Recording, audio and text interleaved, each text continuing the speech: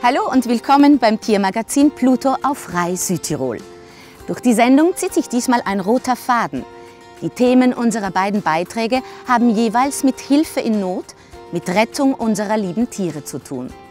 Unsere Tierärztin gibt uns ebenso hilfreiche Tipps, wie ungebetene Gäste unserer Vierbeiner bekämpft werden können. Der deutsche Jagdterrier ist dieses Mal der Hund, den wir in unserer gewohnten Rubrik über die Hunderassen vorstellen. Und nicht zuletzt sehen Sie auch wieder die Rubrik über all die Vierbeiner, die ein neues Zuhause suchen. Nun aber zu unserem Thema, das durch die heutige Sendung führt. Die Rettung. Ein Haustier, das entlaufen ist oder sich einfach verloren hat. Dramatische Stunden, verzweifelte Momente für all jene, die ihr Haustier in ihr Herz geschlossen haben und es nun so vermissen und Augenblicke der Angst, wohl auch für das Tier selbst. Wir haben Tierfreunde, die sich dieses Problems annehmen und mit ihrem Einsatz versuchen, Leid abzuwenden und zu helfen, näher kennengelernt und uns ihre wertvolle Arbeit angesehen. Hundetrainerin Franziska mit ihrem Shetland Collie Ilvi und Miriam mit Border Collie Maya zeigen uns an einem Übungsbeispiel, wie Tiersuche funktioniert. Dem Suchhund wird ein Halsband oder eine Decke des vermissten Tieres vor die Nase gehalten. Hunde sind in der Lage, Gerüche im Detail wahrzunehmen und die Spuren des Geruchs nachzuverfolgen. Dass Hunde bei der Suche nach Menschen zum Einsatz kommen, das kennen wir alle. Die Suche nach vermissten, entlaufenen Tieren ist wohl für viele doch etwas Neues. Wie hat das denn alles angefangen? Also ich wollte mit Ilvi eine Ausbildung als Suchhund machen beim Zivilschutz in Pranzol. Dort wollten sie sie nicht, weil sie leider nicht gebellt hat, obwohl Ilvi eine große Kläfferin ist. Ähm, dann sind wir nach Ungarn, einen Hundekurs zu machen. Dort habe ich eine Frau kennengelernt und sie war Direktorin des Roten Kreuzes der Hundestaffel in Bamberg.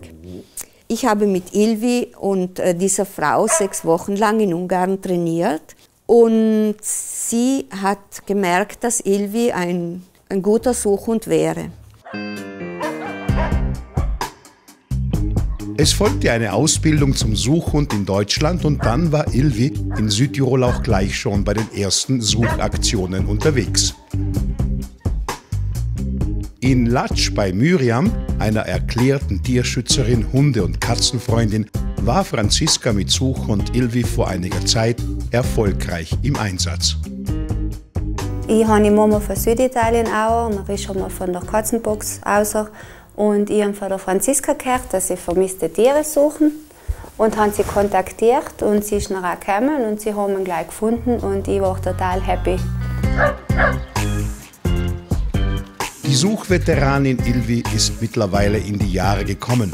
Anlass für Franziska, an die Zukunft ihrer so wertvollen Arbeit zu denken. Ilvi wird zehn Jahre alt, also infolgedessen weiß ich nicht, wie lange sie noch suchen kann. Äh, wenn, äh, deshalb habe hab ich mir gedacht, ich bilde eine Gruppe, sodass die Suche weitergehen kann. Äh, und äh, ich bilde dabei die Hunde aus. Also momentan sind äh, wir zu siebter. Wir haben vier Hunde, äh, die schon also fast super sind. Also sie sind immer noch am Anfang, aber sie sind schon, haben schon gesucht und auch schon gefunden. Wir brauchen immer noch mehr Leute, also wir sind zu wenig, weil Nachfragen sind sehr hoch. Es würde sicher gut gehen, wenn wir noch ein paar Leute finden, die freiwillig mit uns mitarbeiten möchten. Miriam ist jene, die mithilft, die mitsucht, denn sie hat erfahren, wie schön es ist, seinen entlaufenden Liebling wieder bei sich zu haben.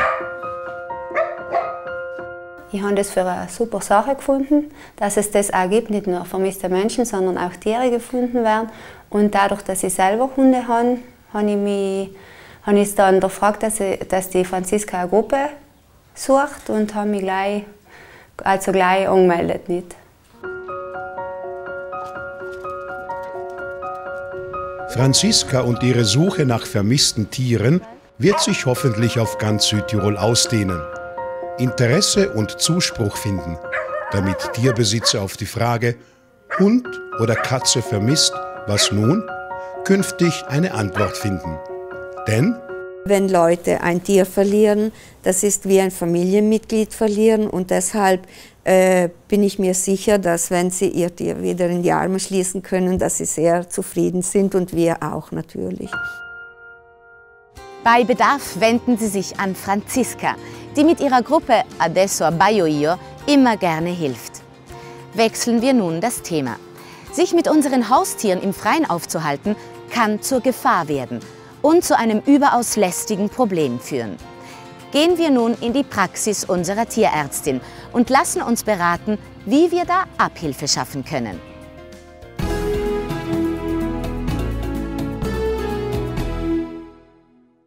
Heute sprechen wir über ungeladene Gäste. Wer sind die?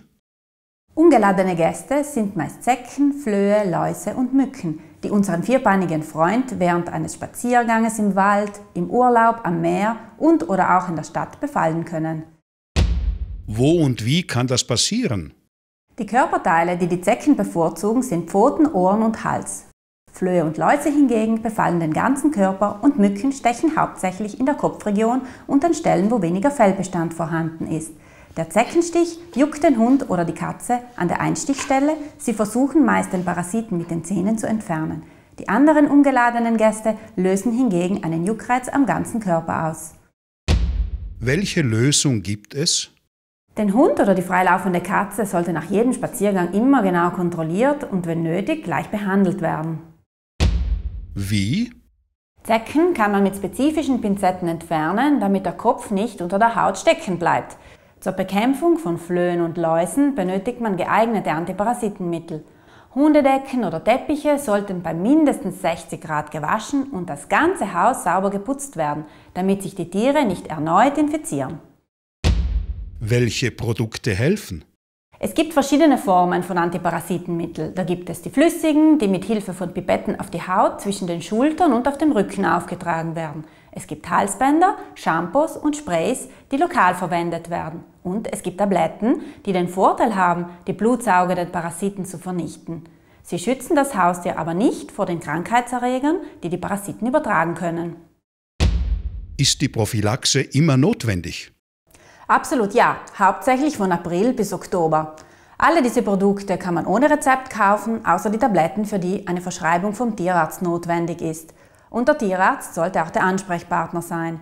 Er kann die geeignete Prophylaxe vorschlagen und etwaige Risiken einer eventuellen von Parasiten übertragenen Krankheit für das Haustier am besten einschätzen.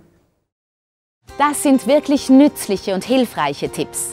Ein herzliches Dankeschön unserer Tierärztin Ingrid Misfatto. Und nun wieder zum Hauptthema unserer Sendung. Es geht in unserem nächsten Beitrag um Rettung im wahrsten Sinne des Wortes. Ein Dienst, der in manchen Fällen lebenswichtig sein kann, aber auf alle Fälle ist er ein Zeichen von Respekt gegenüber den Tieren.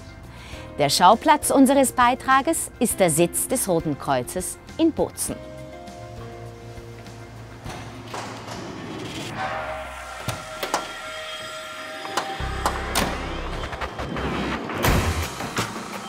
Ein Rettungswagen, wie wir ihn alle kennen. Auf dem ersten Blick nur.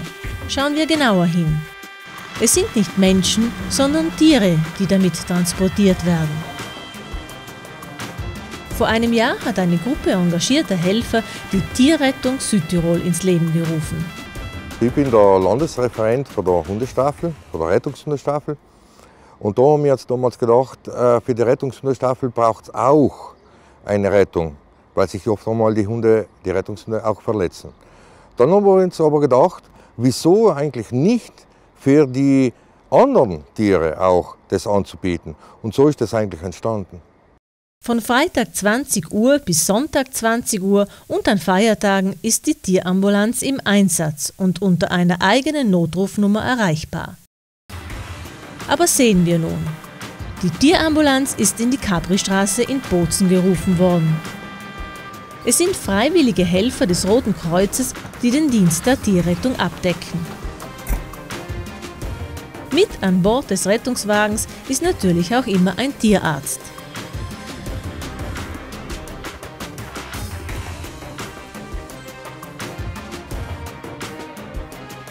Zunächst ein erster genauer Check durch den Tierarzt vor Ort. Gerade am Wochenende oder an Feiertagen, wenn der eigene Tierarzt des Vertrauens die Praxis geschlossen hat, sind Tierhalter oft besorgt, verzweifelt, verunsichert, wenn ihr Liebling erkrankt oder gar verunglückt. Es scheint sich um eine Vergiftung zu handeln.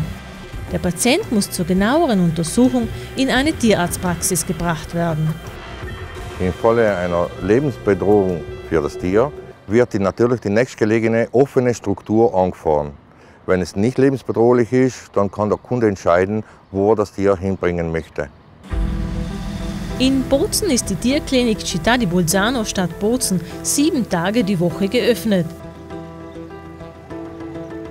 Die Tierärzte dort sind freiwillige Rettungskräfte des Roten Kreuzes Bozen. Die Klinik wurde in dieses Projekt des Roten Kreuzes mit einbezogen, da wir bereits mit der Rettungshundestaffel des Roten Kreuzes zusammengearbeitet hatten. Als das Projekt gestartet wurde, haben wir das mit Begeisterung aufgenommen. Natürlich ist es zunächst notwendig, den Ausbildungskurs für freiwillige Helfer des Roten Kreuzes zu besuchen. Und dann kann eigentlich jeder Tierarzt bei diesem Projekt mitmachen. Freiwillige Rettungskräfte, die nicht Mediziner sind, müssen, um bei der Tierrettung mitarbeiten zu dürfen, außerdem einen 35-stündigen Spezialisierungskurs absolvieren. Die Tierambulanz ist im Raum Bozen und Umgebung unterwegs. Die Kosten für einen Rettungseinsatz betragen 20 Euro innerhalb des Gemeindegebietes von Bozen und 30 Euro bei einem Einsatz außerhalb Bozens. Es ist eine Freiwilligenarbeit, die wir hier leisten für den Rettungsdienst des Roten Kreuzes. Wird das Tier im Laufe des Rettungseinsatzes jedoch in unsere Klinik gebracht, muss der Besitzer die erbrachten Leistungen natürlich bezahlen, wie er das auch tun müsste, wenn er nicht den Rettungsdienst des Roten Kreuzes in Anspruch genommen hätte.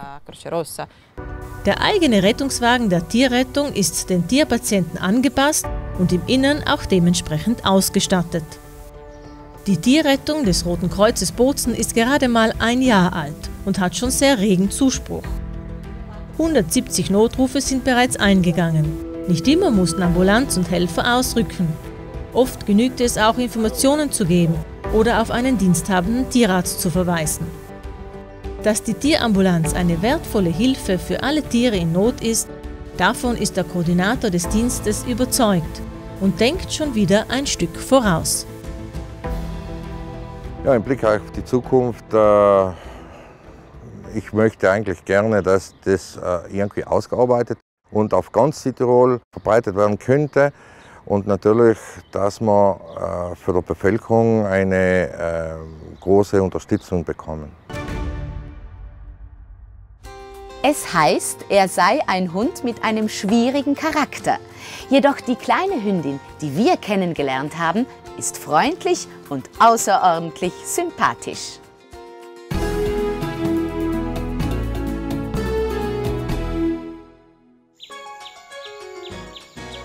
Der deutsche Jagdterrier ist eine Rasse deutschen Ursprungs, die in Italien nicht sehr verbreitet ist.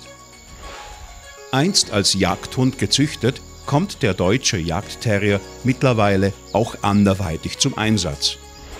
Er ist ein Hund kleinerer bis mittlerer Größe, 30 bis 40 cm hoch und wiegt zwischen 7 und 10 Kilogramm.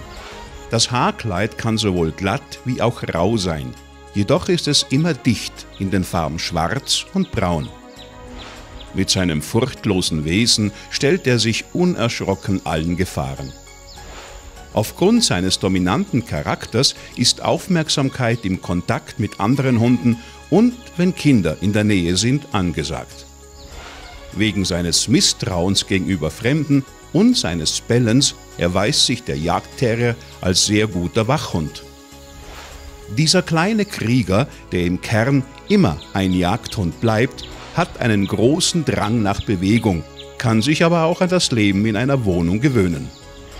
Wegen seiner ausgeprägten Neigung zur Unabhängigkeit und seines kämpferischen Charakters braucht der deutsche Jagdterrier unbedingt eine starke und entschlossene Führung.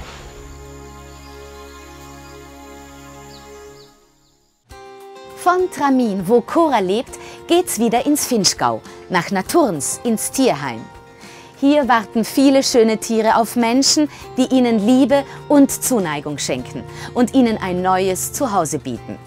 Ich, Luna und Pepe sagen Danke, dass Sie mit dabei waren in unserer Welt der Tiere und freuen uns schon auf die nächste Sendung von Pluto auf Frei Südtirol.